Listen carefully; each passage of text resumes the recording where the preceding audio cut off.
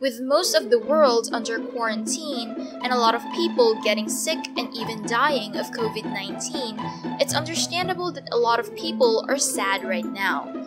This fact was not lost on a six year old boy from Canada, who took it upon himself to try and cheer people up. He set up a free drive by, walk by joke booth in the front yard of his house, offering free cute jokes to any passersby who need comfort. Jokes like, Where does the trout keep its money? The riverbank. They're kid jokes designed to make you smile.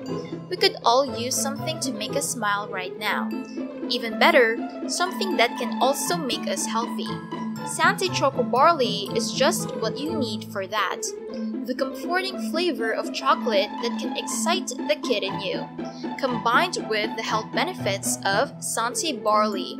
Only available at orgaanics.com. Send a message now at m.me slash orgaanics.